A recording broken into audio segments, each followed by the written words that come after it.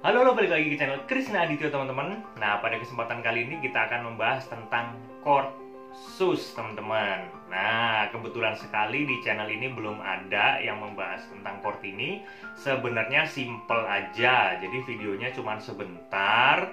Karena kita hanya membahas dua chord aja tapi chord ini enak teman-teman kalau kita terapkan saat kita bermain. Entah solo entah iringan. Ini manis banget kalau kita bisa menempatkannya teman-teman. Nah, bagaimana cara kerjanya? Simak terus.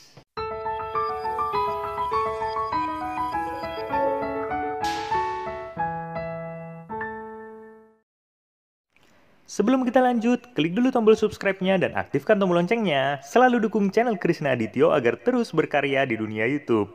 Klik subscribe itu gratis dan tidak menghabiskan tenaga teman-teman. Tapi dengan klik subscribe, artinya teman-teman ikut serta membangun channel Krisna Adityo menjadi lebih baik lagi.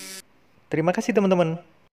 Baiklah teman-teman, ini materinya kita akan mulai dulu. Ini materi untuk pemula, kita akan mengenal chord sus teman-teman ya. Jadi ada macam-macam chord ya di piano ini. Dari chord yang paling sederhana dan chord yang paling rumit itu ada. Nah, salah satunya adalah chord sus teman-teman. Kalau teman-teman mengenal chord mayor, kita coba lihat dari C mayor ya.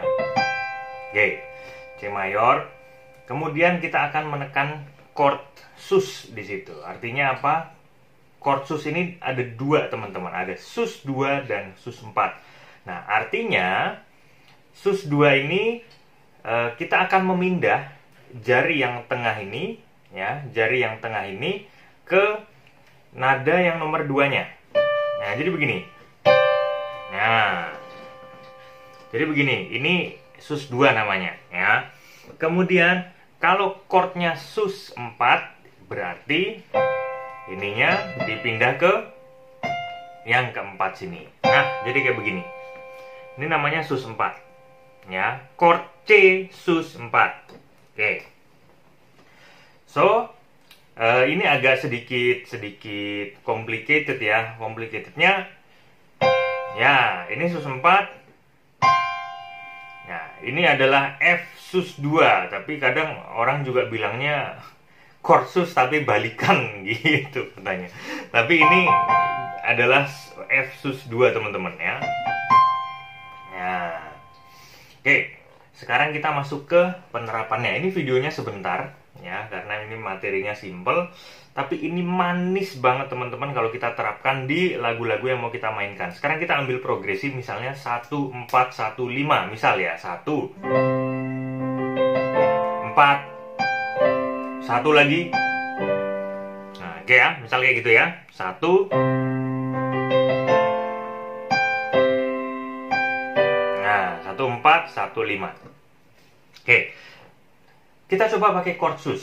Ya, chord sus itu kita bisa masuk ke chord eh, yang di tangan kirinya misal kita pakai jadi chord susnya ini kita coba pakai yang ada di tangan kanan ya teman-teman. Tangan kirinya kita mainnya bass ya atau boleh bass boleh hanya satu nada. Senyaman nyamannya aja. Misal kayak gini nah. Ya. Nah ini sus 4 basicnya adalah chordnya chord 4 tapi kita ambil nah jadi kita nggak full di sini ya karena fa-nya udah diambil sama yang atas ya. Nah ini teknik-teknik ini sering dipakai untuk kita mengiringi penyanyi teman-teman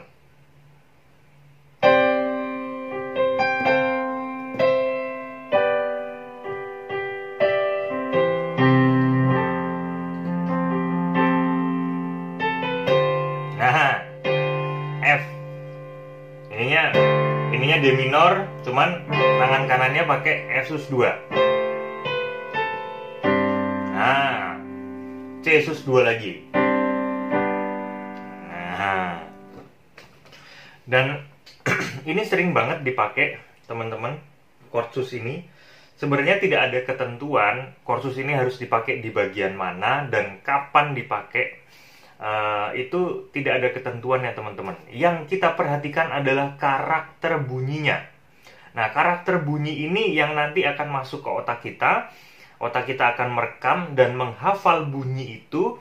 Nah, nanti otomatis uh, saat kita mendengarkan lagu atau kita mengulik lagu atau kita sedang belajar lagu itu akan secara otomatis uh, ada penerap penerapannya di saat kita bermain. Aduh, sorry. Jadi ada udah udah udah udah kita memorize gitu chordsusnya bunyinya bunyinya begini yang dua bunyinya begini yang keempat. Itu di semua kunci bunyinya kayak gitu teman-teman ya. Mau Asus juga Asus 2 juga gitu. Nah sama bunyinya. Karakternya tuh sama ya kan? Udah demo merais kita pengen coba ngiringin ngiringin nanti dia keluar sendiri ke situ dengan kita mencoba-mencobanya teman-teman ya.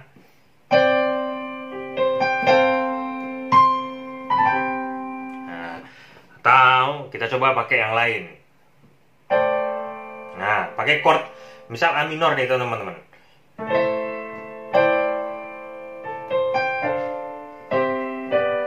A minor, D minor, terus eh, satu C 5G. Jadi 6 2 1 5. Progresinya kita pakai itu. Nah, kita coba masukin susnya di situ.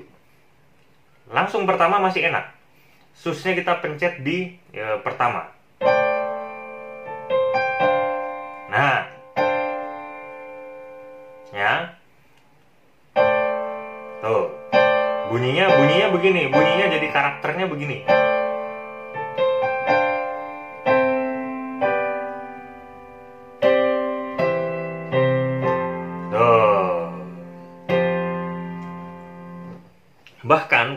Untuk menyempurnakan bunyi, uh, Mas Kris mencetnya kadang begini, kadang begini. Nah.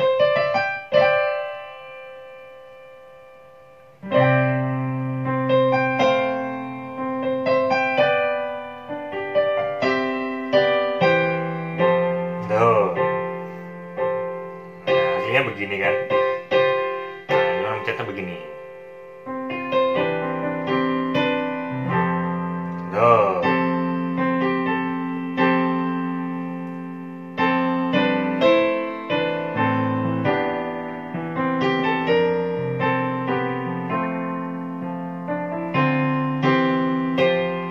Sus lagi.